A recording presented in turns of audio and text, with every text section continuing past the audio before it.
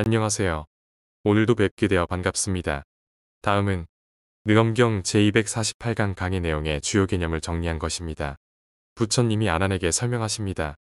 허망한 생각의 뒤바뀜으로 인해 알로 태어나는 갈라람, 태로 태어나는 알포담, 습한 환경에서 생기는 폐시, 변화하는 형상인 갈람, 그리고 정명에 빛나는 형태와 같은 다양한 생명체가 생겨났다고 말씀하십니다. 이는 세계적인 윤회와 화합의 결과로 다양한 생명체가 이 지구에 존재하게 되었다는 것을 의미합니다. 강에 들어가기 전 구독과 좋아요 그리고 알람을 하시면 포교에 많은 도움이 됩니다. 아나나 내가 지금에 진짜 참 산마지를 닦아서 열애의 대열반에 바로 나아가고자 할진대 열애의 대열반은 경기에 바로 도피한 하려고 거기에 직행하려고 한다면 직행이 직례죠 바로 나가는 거 바로 도노성불이죠 단박에 성불하는 그 방법을 네가 택하려면 어떻게 해야 되느냐 먼저 마땅히 중생 세계의 두 가지 전도인을 알아야 된단 말이에요. 중생이 본래 없고 세계도 본래 없다고 불운화장에 말했죠. 중생 상속, 세계 상속 이전에는 본각 묘명이죠. 성각이 묘명하며 어 뭐예요? 본각이 명묘라고 그랬죠. 본각이 명묘하고 성각이 묘명한 그 자리에서는 중생 세계가 없는 건데 성각 필명이언을 마음이 명각하는 거. 명각으로 허망하게 잘못될 때 그때부터 이제 중생 세계가 벌어지기 시작하지요. 불각 무명이 생길 때 중생 세계가 벌어집니다. 그게 잘못된 두 가지 전도이라요. 전도망상. 그러니까 중생과 세계의 두 가지 전도인을 먼저 알아야 된다 말이죠. 그 두 가지 전도가 생기지 아니하면 이것이 곧 열애의 진짜 산마지다 말이에요. 그전엔 벼런만견, 통분만견 말했죠. 그것도 내나요 두 가지 전도인이래요. 두 가지 전도인을 거기서는 만견으로 말했죠. 벼런만견, 전도만견. 그거 설명할 때 전도로 나왔다고 그랬죠. 그러니까 부처님 저 경전 먼저 것에 거다고 다 서로가 똑같아요. 일맥상통이요. 위에서 설명하는 거나 지금 설명하나 똑같아요. 벼런만견이나 동분만견이나 만견 자, 자체가 이거 이게 전도 아니요. 만견이 바로 전도란 뜻이에요. 동분만견. 거기는 만견으로 표시를 했지요. 이것도 전도고. 전도는 잘못된 거지 뭐. 뒤바뀐 거. 여기는 이제 세계전도하고 중생전도 두 가지를 설명합니다. 근본부터 설명해야 되니까 57일을 설명하기 전에 이것부터 알아야 되잖아요. 중생의 전도와 세계의 전도가 어떻게 된 거란 것을 알아야만 도를 닦는데 손을 쓸 수 있잖아요. 병이 있는 곳을 알아야 수술을 하든지 병을 고치든지 약을 쓰든지 하죠. 어디 아픈 것도 모르고 맥도 모르고 진찰해서는 안 되잖아요. 안 하나 어떤 것을 중생 전도가 된다고 하느냐. 중생 전도는 과연 어떤 거냐. 중생 전도도 저후에 어, 세계기시, 중생기시, 어저 세계상속, 중생상속 푸르나장에서 설명한 거나 똑같아요. 하나 성명의 마음이 성이 명원함을 말미암기 때문에 본래 본성은 밝은 자리요. 원명, 원명한 마음자리, 둥글고 밝은 자리, 적조, 적조한 그 마음자리가 성이 밝고 둥글기 때문에 원명이나 명원이나 같은 말 아니요? 그 밝음으로 인하여 성이 바라고 성이 또 허망해서 허망한 그 소견이 또 생겨가지고 필경에 없는 것으로 붙어서 필경에 있는 것이 되었다 말. 필경이나 구경이나 같은 말이요. 본래 무에서 유가 형성 되었다 말이요. 본래는 세계전도, 중생전도가 없는 지극히 고요하고 지극히 밝고 지극히 깨끗하고 지극히 청정한 그 자리에서 그 자리에서 인명 발성하고 성망 견생이라 요 두 구절이 가장 불수자성 수연성 하는 거요. 어? 불수자성 수연성을 말한 거죠. 법성계. 법성계 뭐요? 진성심심 극미묘하여 불수자성 수연성이라.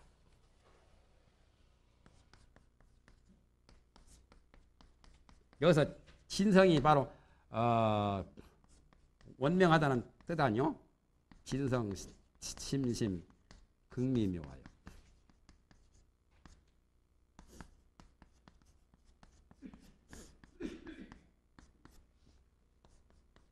불수 자성 수연성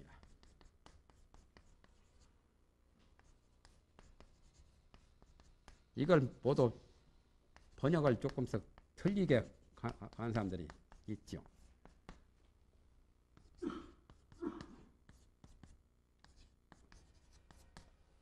불수 자성, 자성을 지키지 않고 인연 따라 모든 사법을 이루었다는 말이죠. 하암경에 이 말을 저런 식으로 했어요. 진여는 불수 자성하여.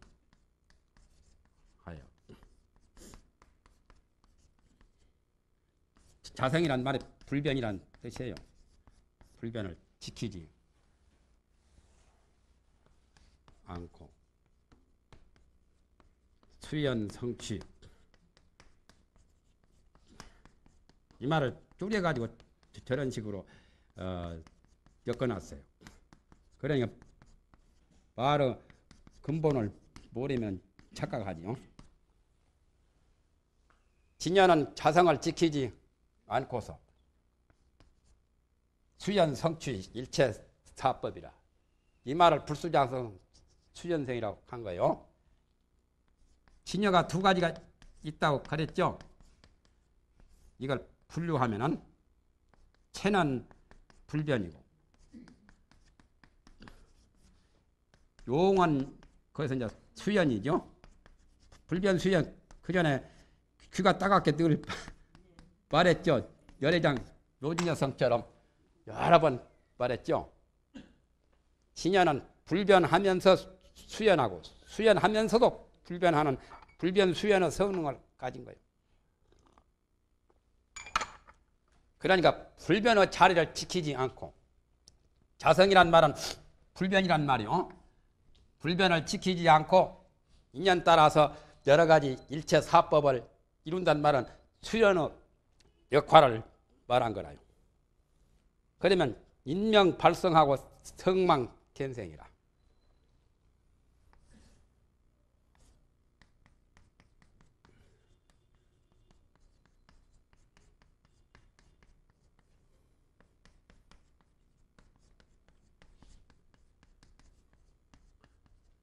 이게 불수자성 수연성의 도를 말하나요? 밝은 게 수연의 성능이거든. 밖에 비치는 아, 아까 원명이라고 적조라고 할 때 조 성능이죠.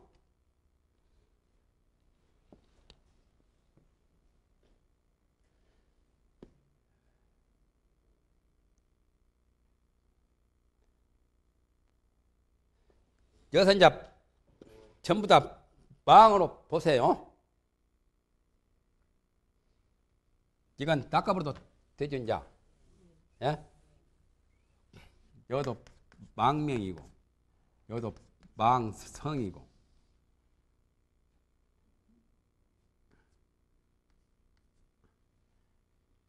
망명으로 인해서 망성을 발하고, 또 망성으로 인해서 어, 망견이 발한다. 망견이 생긴단 말이에요. 커망견. 이것도 망성이고.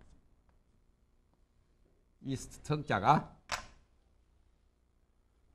성이 망이란 말이 망성이란 뜻이에요. 어떻게 해서 그 허망이 있는가가 문제죠. 각비 소명연을 인명 입소라는 그 말과 같죠. 저 위에서 불화장에서 각은 소명이 아닌데 각비 소명연을 인령 입소라.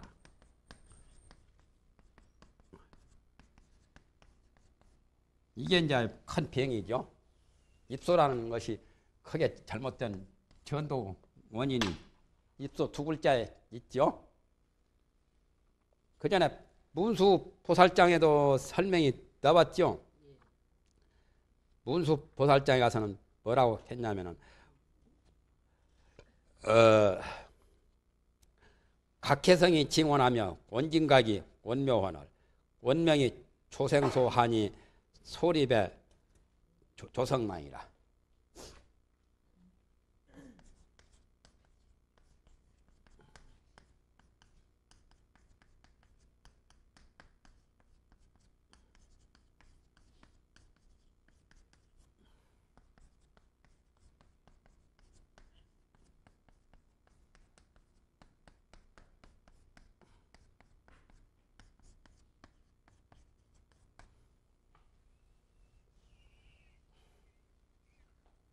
그 다음에 와서 뭐가 생기냐면 미망 유공 권을 20 입세거다.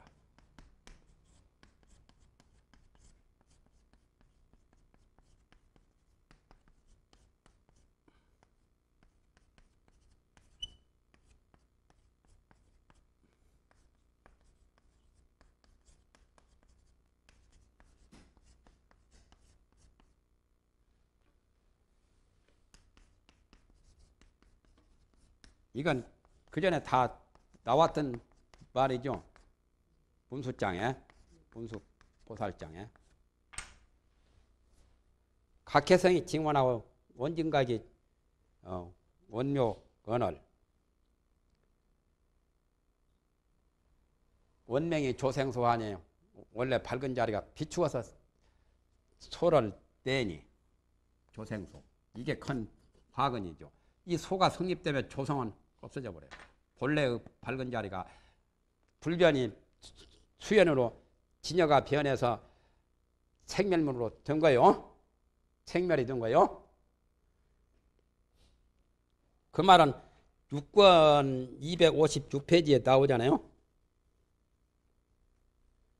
문수 보살장. 미망으로서 허공이 있거늘 허공에 의해서 세계가 성립된다.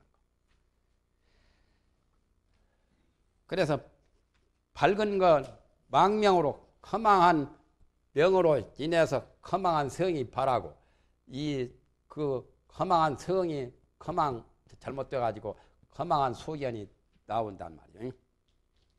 그러니까 여기서 지 정맥수에서는 이런 걸로 봤어요. 망명 또 망성 또 그 다음에 망견 이렇게 삼중으로 처음에 망명으로 말미암아 망생이 생기고 망성으로 말미암아 또 망견이 생겼다는 그 뜻이죠. 그래가지고 필경에 없는 거 처음에는 오원도 없고 육군도 없고 육식도 없고 치팔개도 없고 육진 육식 육군 다 없는데 없는 필경에 없는 데서 필경이라는 말은 어, 그 자리는 철저한 뜻이죠. 철저하게 없는 데서 붙어서 또 철저하게 있는 것이 생긴다 말이에요. 위에서 유가 형성이 되었단 말이에요. 쉽게 말하면 어, 중생과 세계가 본래 없는 데서 중생 세계가 어, 형성이 되었다는 그 말을 해요. 한 생각 일으키면 벌써 되는 거죠. 예? 물이 출렁거리기 시작하면은 파문이 일어나고 거품이 일어나는 것처럼 맑은 허공에 먹구름이 일어나 가지고 태양을 가리워서 어두운 큼큼한 암흑이 된 것처럼 그렇게 된 거라요. 그거 하려면은 뭐 마음 공부를 해가지고 마음의 근본 그 시기를 본성을 깊이 사모쳐야 그것이 환하게 드러나지요. 이 유와 소유가 인과 소인이 아니며 주와 소주상이 마침내 근본이 없다 말이죠. 이 말은 좀 어렵죠. 이 유라고 하는 것은 어, 능유 혹이죠. 또 소유라고 하는 것은 업이고 인과 소인이 아니다는 것은 까닭이 없는 거죠. 진릉인 진소인이 아니다 말이죠. 그런 식으로 말했습니다. 정맥소대로 보는 게 제일. 차, 유, 유소유, 비, 인소입니다. 말이 좀 어렵죠, 좀.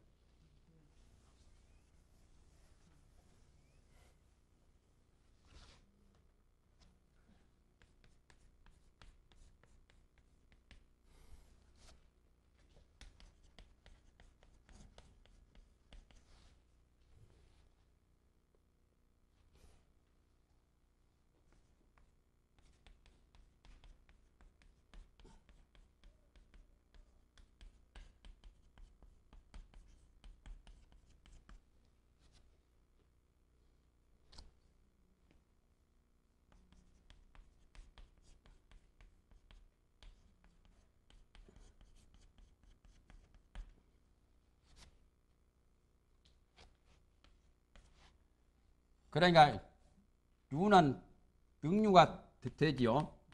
능유 혹이고 이는 그대로 소유죠.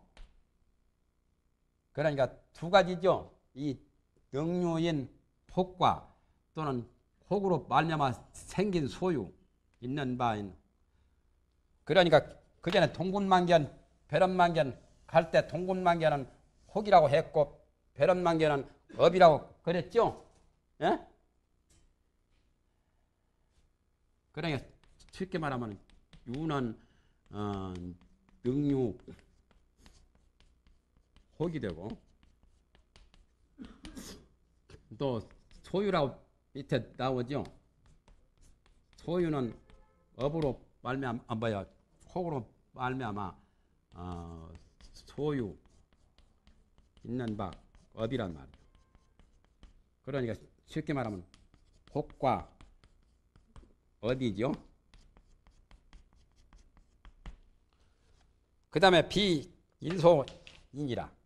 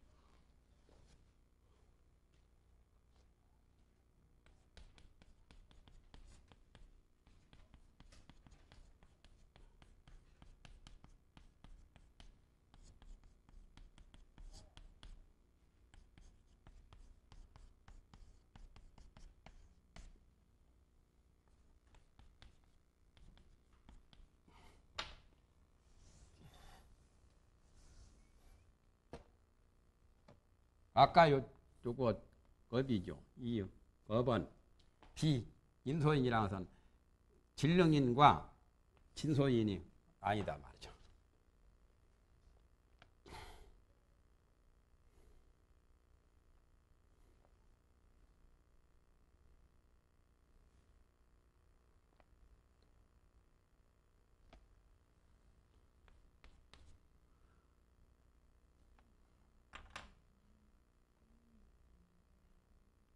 여기다 빼버리고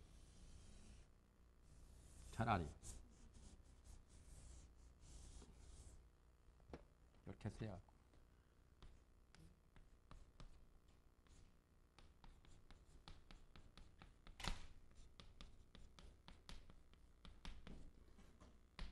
업과 혹을 가르친 거죠.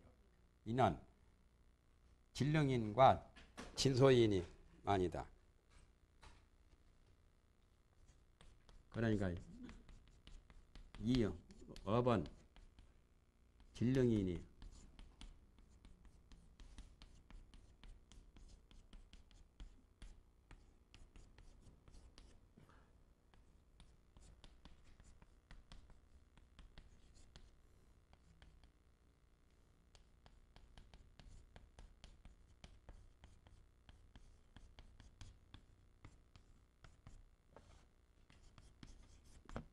이런 뜻이죠.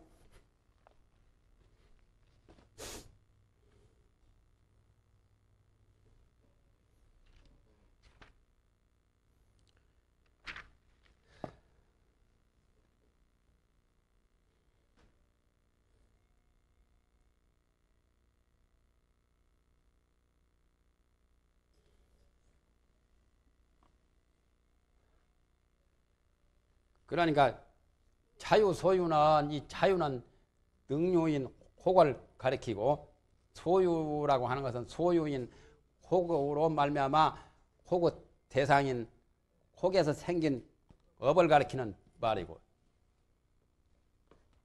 그러니까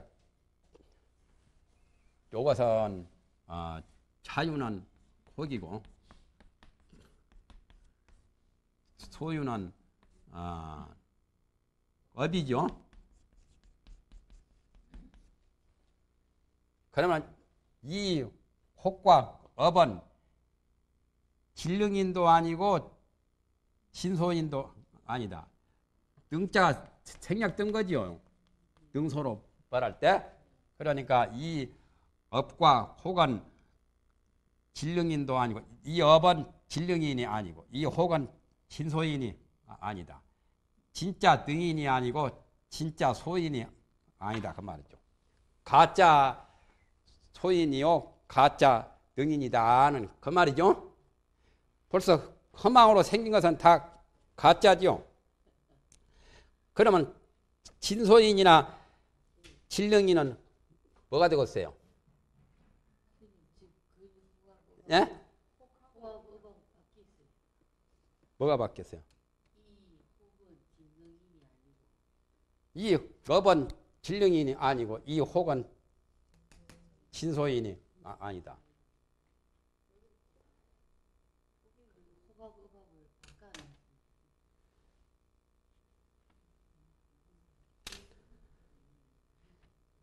진소인은 뭐고 진령인은 뭐, 뭐겠어요?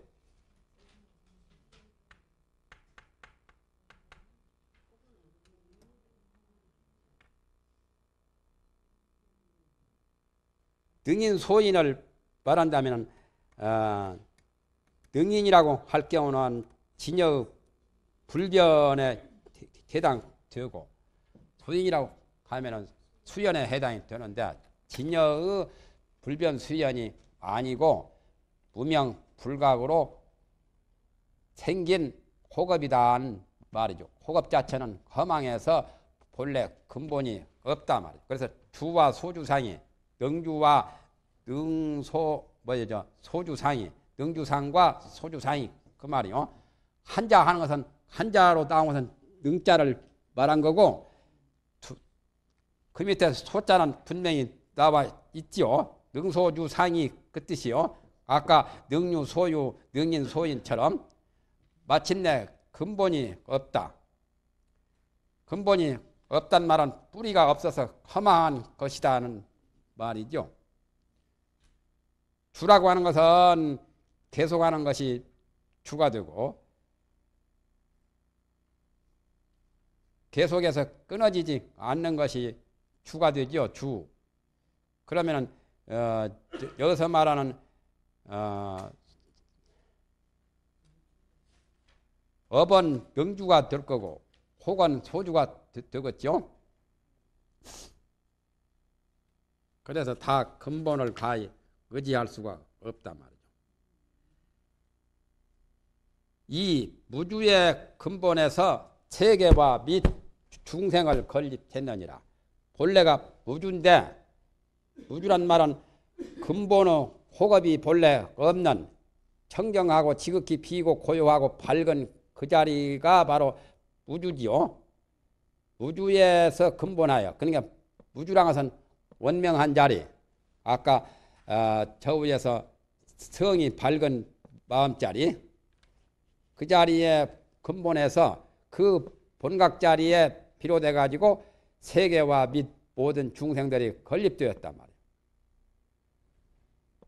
그 전에 문수장에서 그것이 저 말했듯이 원진각이 징원하고 원명각이 뭐 어, 본래 밝다고 하는 그 자리가 바로 우주죠.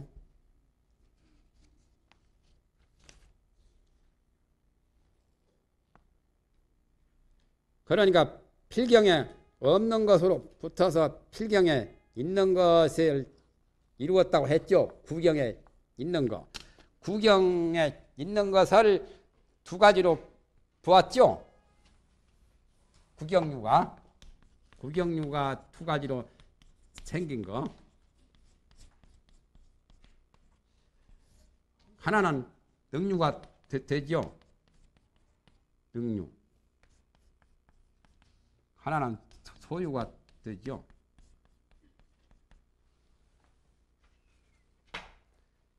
그러면 능류라고 하는 것은 어, 혹이죠, 혹. 소- 소유라고 하는 것은 업이고 혹을 가리키죠. 또, 또는 업이고 본래 없는 자리는 이런 호흡이 없는 지극히 청정한 자리를 가리키는 말이고 그 다음에 필경에 없는 것으로 붙어서 구경에 에, 있는 것을 이루었다고 하- 하니까 이건 잘못된 거죠. 구경에 있는 것을 이루는 것은 그런 중생 세계가 벌어져 가지고 존재를 형성한 거죠. 존재 유자 여러 가지 있는 거. 그러면은 혹이 능동적인 역할을 하니까 그 능유라고 하지요. 혹으로 말미암아서 그 결과가 나타난 것이 소유업이라요. 그러니까 혹이 어, 능동력을 갖고 업은 거기에서 수동으로 나타나는 결과이기 때문에 그래서 능유를 혹이라 하고 소유는 업이라고 한 거예요. 본래 혹업이 없는데 혹업이 생기는 것은 벌써 중생의 여러 가지 그런 어, 세계전도와 중생전도가 생긴 거지요. 혹업, 고갑 안 좋은 거지요. 고집멸도가 내가 이걸 가르친 것 아니요. 고집이란 말이 호겁고를 가르친 거지. 이 호겁고는 삼장이라고 가르죠. 세 가지 장애. 혹장. 혹장이 번호장입니다. 호급 별명이 번호입니다. 혹장, 업장, 번호장, 고장. 고장을 별명이 보장이라도 하고 과보. 보장이나 고장이나 같은 거죠. 이게 삼장이 본래 없는데 삼장이 형성되었으니까 어, 우리 중생들한테는 구경유를 이룬 거죠. 그- 그래서 능유 소유를 호급으로 본다면 그 호급 자체가 진짜 능인 소인은 아니다 말이죠. 어? 진짜 능인 소인이라고 한 것은 어, 예를 들면은 보리는 뭐, 뭐가 되겠어요?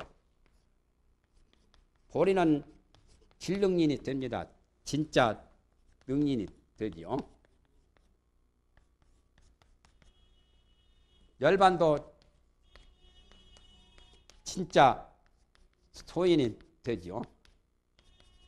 이런 것들은 진짜 소인과 능인이 되지만은 순수한 그 본래 청정한 자리는 진령인 진소인이 되겠지만은 이 거기에서 잘못돼 가지고 전도로 생긴 혹없고 이 세 가지는 혹과 업 이, 이것들은 진령인이나 또는 어, 진소인이 아니다는 말이죠.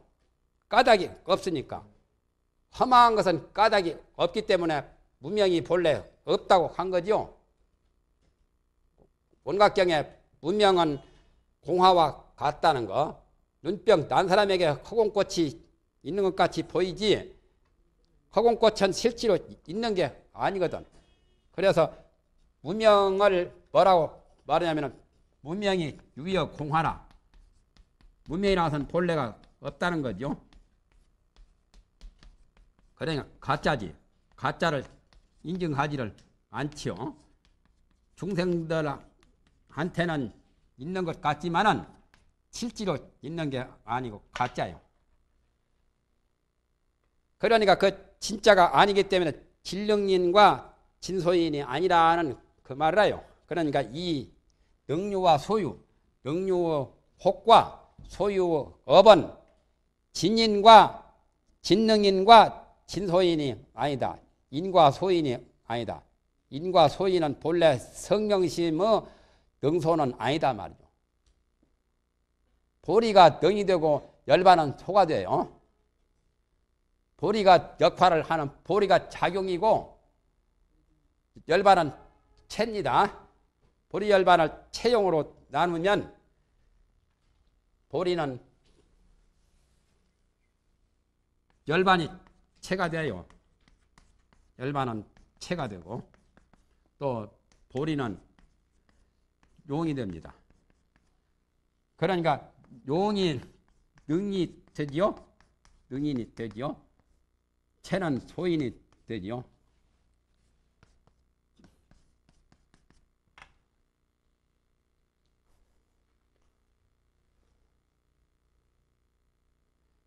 진령인이고 소령인이고 항상 그저 인명 논법에 수로가 나와 있어요. 진령인 뭐 소령인 같은 거.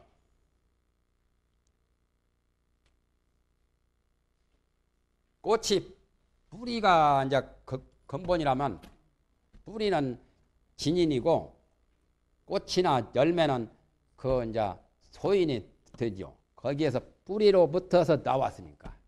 그러니까 어, 채용 관계로 보면은 어, 채가 소가 되고 용은 능이 돼요. 이해가 됩니까? 안 됩니까? 여기 문구가 어려운 말이라서. 예?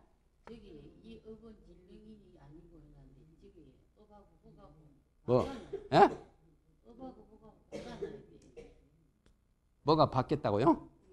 저 중간에 이 예. 업은 진령인이 아니고 이 업은 진령 아, 진소인이 아니고 바뀌지. 그러니까 이 업은 진령인이 아니고 요거 이 업은 진령인이 아니고 이 혹은 진소인이 아니다. 그 말로요. 혹은 업이고 예? 혹은 능인이고 혹은 능인이고 업은 소인이라는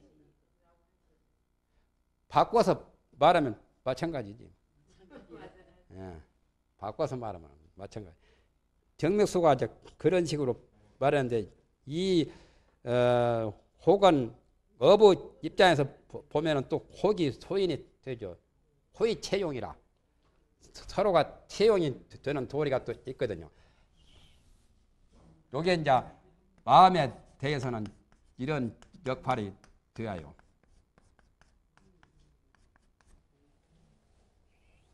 그래서 유식에 보면은 능장 소장이 나오죠.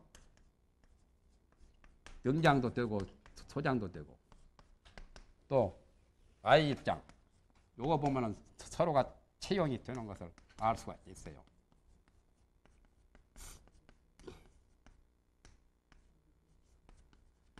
이걸 아리아식의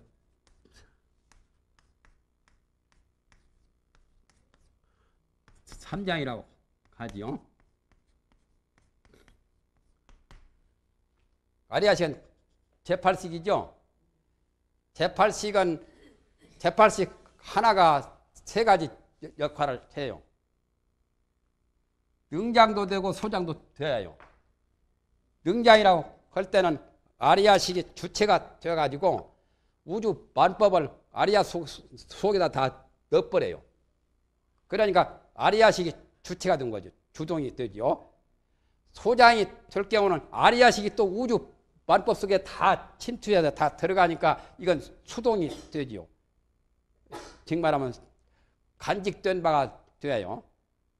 요- 이렇게 될 때는 아리아식이 주가 아니고 우주 만법이 주가 되고 아리아식이 우주 만법의 객체가 되지요. 객체는 소가 되죠. 주체는 능이 되고 아리아식이 우주 만법을 다 간직할 수 있는 주체의 역할도 하고 능동적인 역할을 하니까 능장도 되고 그러니까 장 만법의 아리아시 그 자체에다가 만법을 능히 간직한단 말이에요. 또 소장이라고 할 때는 아리아식이 우주 만법 속에 다 또 침투를 해서 아리아식이 우주 만법 속에 간직을 간직 당해요. 그럴 때는 이제 아리아식이 객체가 되고 우주 만법은 어, 주체가 되죠. 그럴 때는 어, 소장이 되죠. 그래서 호의 채용이라요. 호의 채용이라는 말은 호의 주객이라는 말과 같아요. 예? 주체, 객체가 번갈아 가면서 그 하나가 주체 될 수도 있고 객체가 될 수도 있고 나라는 몸이 아버지한테 되면은 아들이고 또 아들한테 되면은 아버지 아니요 바뀌어버리죠. 그와 같이 아리아식 자체가 세 가지 삼장 역할을 해요. 또 아이집장이라서는 아집을 내는 그런 역할을 해요. 이것도 장자요. 이 세 가지 삼장을 다 초월해 버리면 성불하지 않아요. 이건 주로 칠식이 작용하는 건데 칠식의 역할도 아리아식 속에 포함을 하고 있기 때문에 아예 집장까지를 능히 하지요. 아이 장은 순 번호를 일으키는 거죠. 이것은 군습을 하는 거고 능장을 하거나 소장을 하거나 하는 군습력으로서 어, 우주만법을 어, 아리아식 속에다가 저장해 두기도 하고 또한 우주만법 속에 아리아식이 개체 개체마다 다 그 속에 간직되어 있어요. 두두물물이 아리아식 아닌 게 없잖아요. 아리아식이 총체가 되어서 우주만법을 아리아식 속에다 다 저장하고 훈습하기도 하고 또한 아리아식이 만법 속에 들어가 가지고 만법 속에 다 간직을 당하고 있어요. 간직되고 있어요. 그 속에. 그게 이제 소장이라요.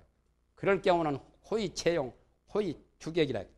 요것은 이제 그런 의미로 이렇게 이제 말했죠. 아까는 호기 능인이 되었는데 여기는 이제 소인으로 말했으니까 그 말은 정맥소 말이라요. 그래서 이 무주의 근본에서 무주가 근본이죠. 응무소주 이생지심이라는 그 무주도 본래 마음자리가 무주기 때문에 무주가 가장 근본이라 해서 어, 금강경에도 무주로 체를 삼고 또 뭐라고 하죠? 금강경에 세 가지가 나오죠. 무주로 체를 삼고 또